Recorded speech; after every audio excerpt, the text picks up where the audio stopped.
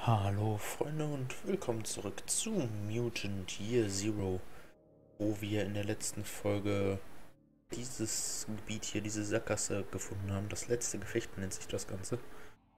Und hier sollen sich wohl auch wieder normale Gule rumtreiben. Da bin ich ja mal gespannt. Da hinten ist auf jeden Fall ein Feuer und da sind auf jeden Fall Menschen. Prip, geh mir nicht auf den Sack. Äh, wo willst du mich? Mit Speer, da unten. Hier unten ist der Teufel los, kümmert euch einfach darum, ja? Auf einem grünen Hügelchen, ne, da steht aber nichts Neues, okay. Na gut. Dann halt die Nebenmission. Ist auch die vorletzte. Ich habe mich mal ein bisschen gespoilert, indem ich gerade eben ein bisschen durch Achievements geklickt habe.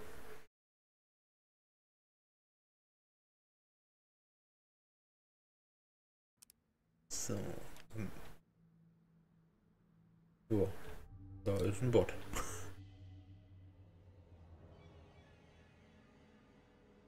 I got this one.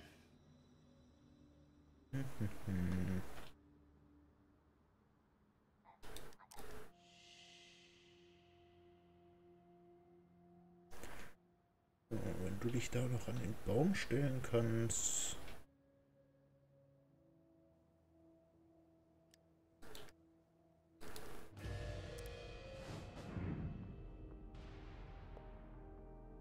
Weiß nicht, warum er direkt auf Dingens gegangen ist. Viel wurden nicht geortet. Aber egal. So, du schießt als erstes. So, Selma, du hattest ja nicht den... Äh das ist jetzt nicht dein Scheiß Ernst. Dir ist hoffentlich bewusst, dass du jetzt die 50% Chance verlieren musst, ne? Meine Fresse, mehr ein Schwein. Peng.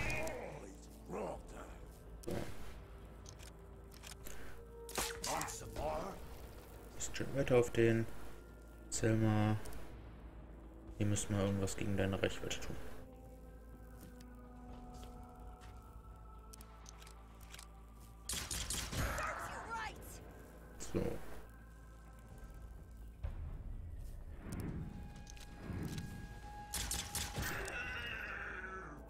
Sind wir den nämlich schon mal los.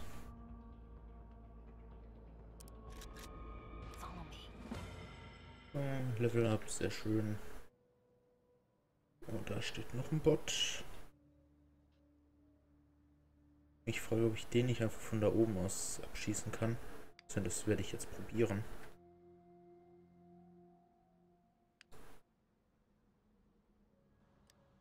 Eine neue Rauchgranate, okay. Danke dafür.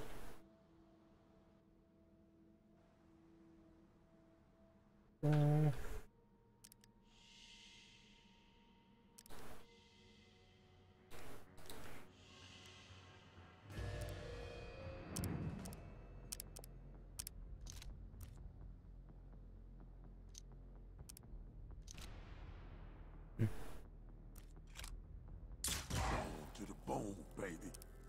war ein schöner Schuss. Ja, ich weiß, er hat keine Schusslinie. Und daraus schon. Stehe ich nicht.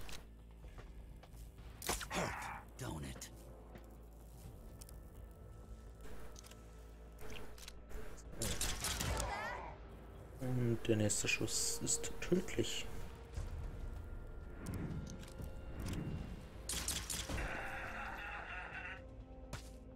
Da steht noch ein Bot. Aber der meldet sich gerade noch nicht.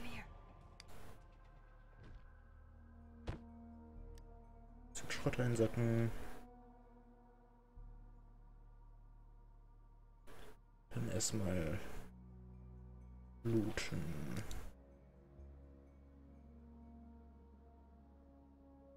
Wo ist denn jetzt der Bot hin? Doch gerade noch hier. Das verarschen. Das ist Langhexe. Okay, ich wage zu behaupten, das ist der Anführungszeichen Boss. Ist ja der Hauptgegner von dieser Nebenquest. Das ist der Bot wieder.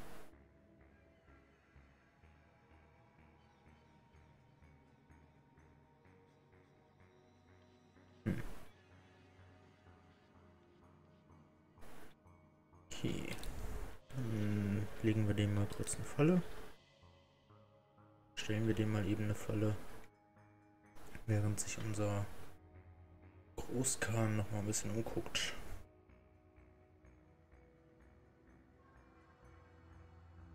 So, wir haben hier den Medbot, den kriegen wir schnell ausgeschaltet. Da oben steht ein Jäger drauf.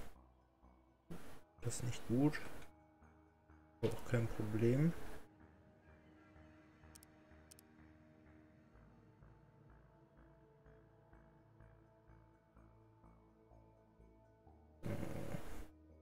Der Bot gerade rechtzeitig wieder. Passt ja. Aktivieren, aktivieren, aktivieren, Peng.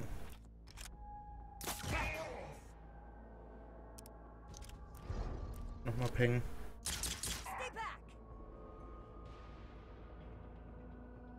Das war nicht der EMP-Trigger. Uh. Ja, Mann, wir müssen halt auch echt mal manchmal Glück haben, ne?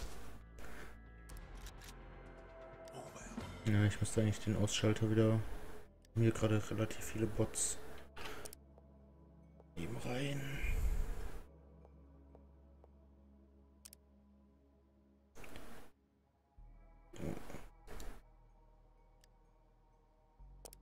Jetzt sie... Ja gut, da fehlt mir noch ein paar Punkte.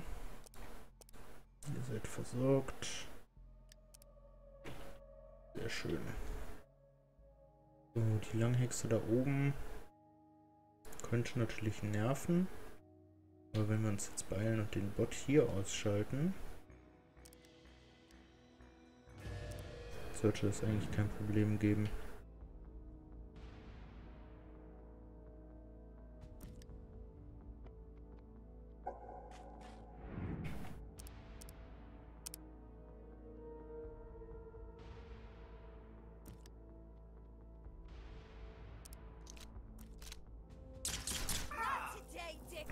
So, da haben wir den EMP. Deshalb brauchen wir uns gar nicht drum sorgen. Großkahn schießt natürlich mit. Müssen wir uns natürlich nicht entgehen hier.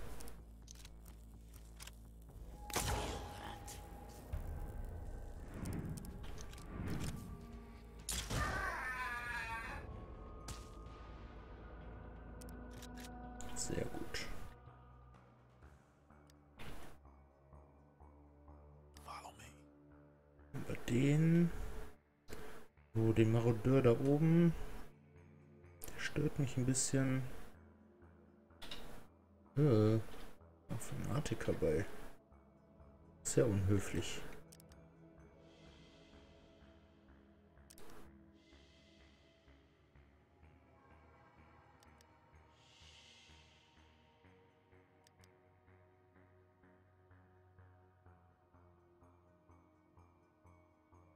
Ist, wie kommt der Fanatiker? Geht er jetzt da hinten raus oder kommt er wieder zurück zu mir? Dann kommt erstmal hier lang, okay. So bitte einfach nach da hinten abdampfen. Genau.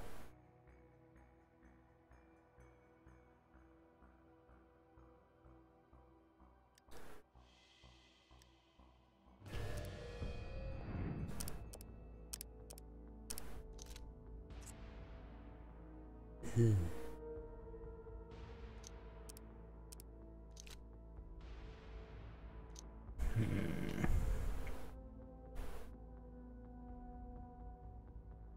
Keine Feuerlinie, natürlich nicht.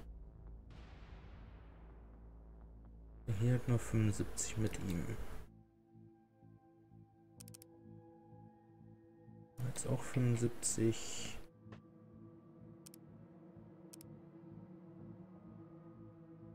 Hättest...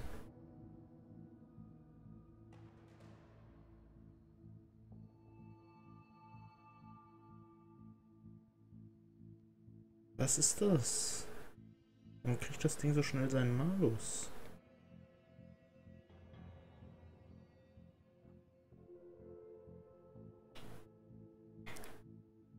Hm. Das ist nicht gut. Der schöne Crit.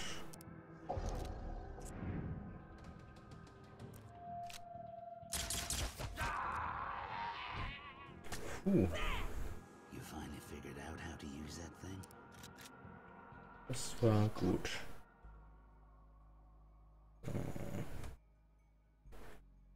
Dann können wir uns eben schnell den Loot von ihm schnappen.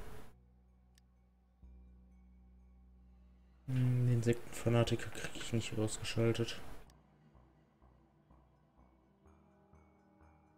Das ist leider so.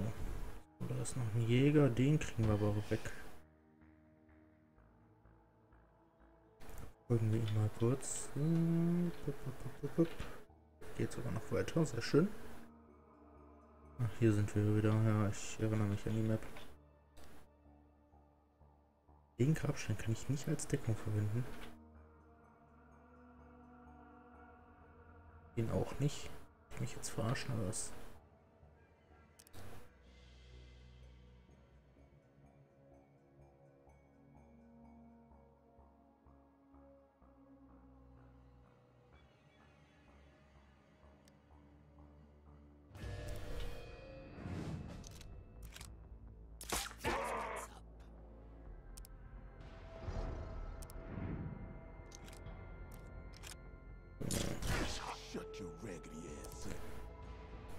Wenn du ihn krittest, wäre er tot. Das ist aber nur eine 50-50 Chance.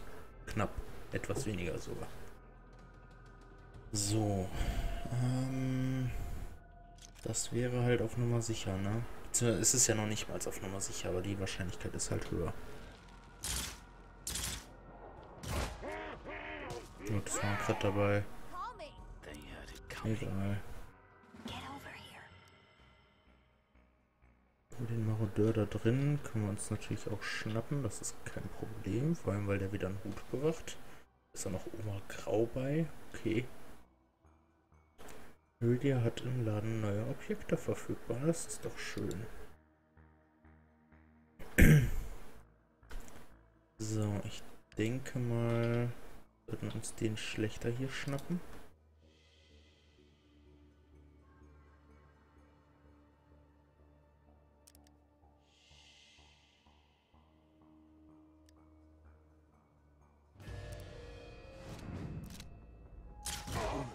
Dumbass.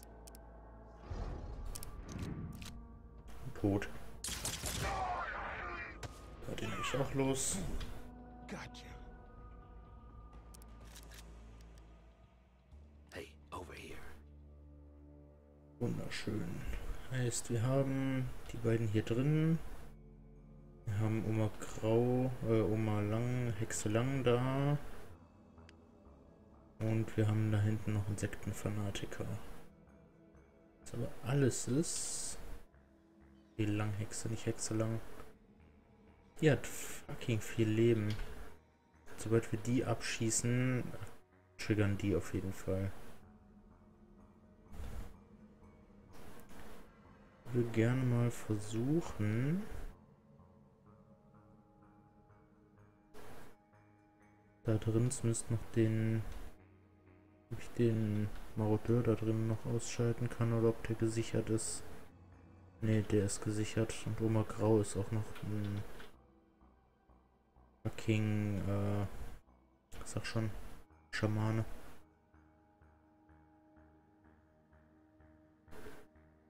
Gut, dann machen wir das so, indem wir, wie wir vom Prinzip her damals das Ding hier auch gestimmt haben, gehen nach oben und geben ihnen von oben einfach eine mit. Mit einer meine ich ziemlich viele, ziemlich tödliche Kugeln. Wie gesagt, der Marodeur ist ja das geringste Übel.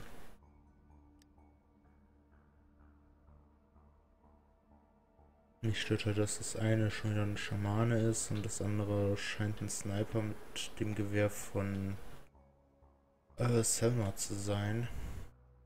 Das hm, stört mich so ein bisschen.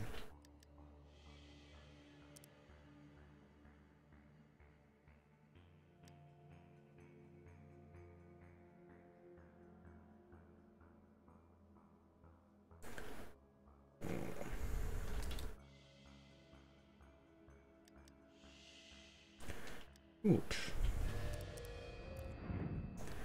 Aktivieren, aktivieren, aktivieren.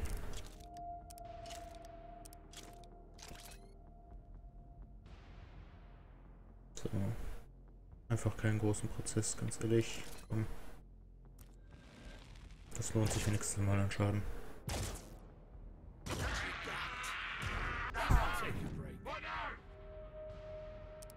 Das wäre das. So, 100% Crit-Chance tötet den Gegner leider trotzdem nicht. Aber es macht schon mal gut Schaden. Und Buskan gewinnt das Match. So. Langhexe mit 44 Leben und 6 Rüstungspunkte.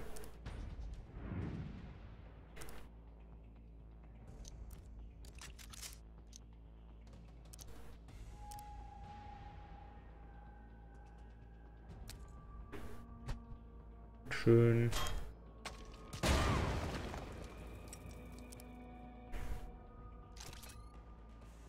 Keine Feuerlinie.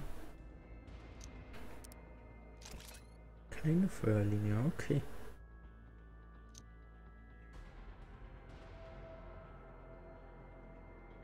Dann bin ich dafür. Bommel geht mal dahin, triggert den Overwatch. Genau. Der, der uns nicht trifft, umso besser.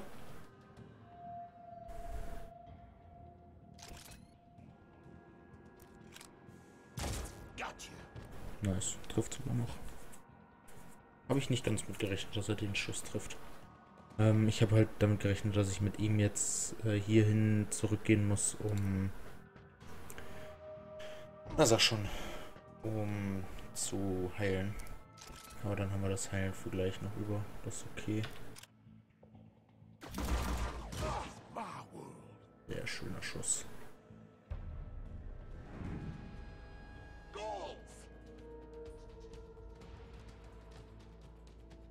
Ja, die hat übrigens genau die Waffe wie auch Selma. Ja. Ja, und der kommt natürlich jetzt auch vorbei.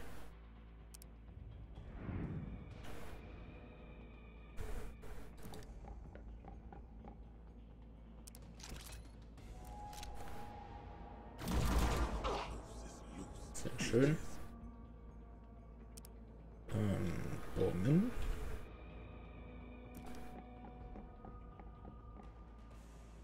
Ich hätte ihn hier hinstellen sollen, ich Idiot.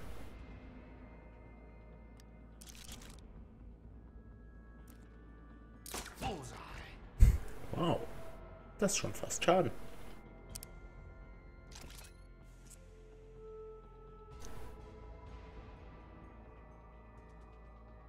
Bei Selma müsst ihr hier oben landen können, ne?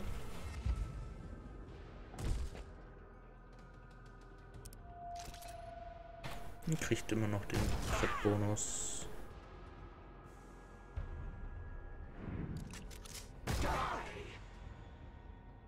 Ich komme damit klar, wenn der auf Bomben geht.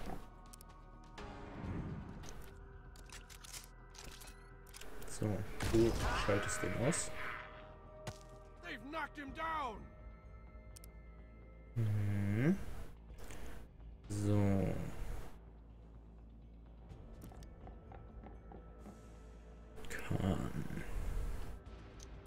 Ich lassen nachladen. Bomben.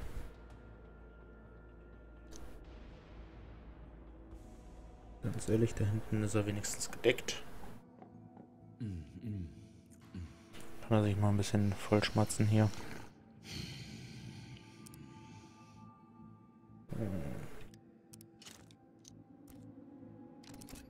Nachladen. Aber auf Entfernung ist die Waffe besser. Nein. Das war nur ein Dingens. Nur Kettenblitz.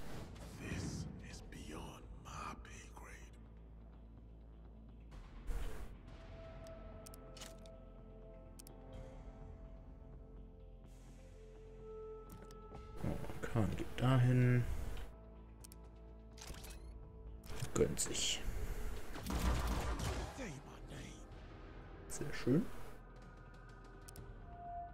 Bomben. Wäre cool, wenn Borman ihn jetzt einfach nach da hinten kickt, um, ihn, um ihm den Deckungsbonus zu nehmen. Perfekt. So. Selma.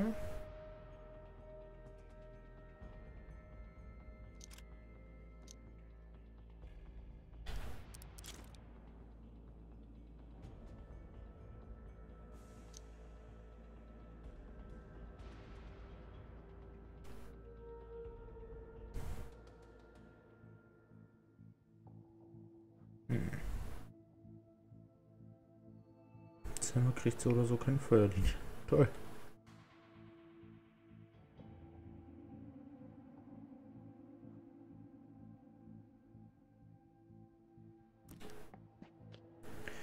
Gut, dann gehst du jetzt einfach mal dahin. Und überwachst den ganzen Scheiß hier. Hm, hat noch ein Kettenblitz raus, okay. Überrascht mich. Aber gut. So, du gehst mal auch mal Grau fressen, weil... Warum soll ich für dich ein Medipack verschwenden?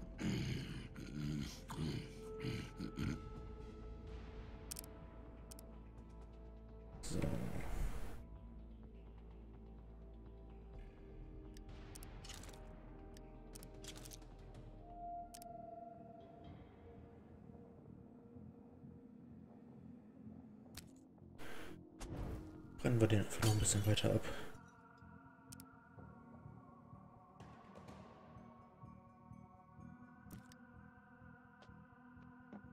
Prozent Chance. Peng, peng.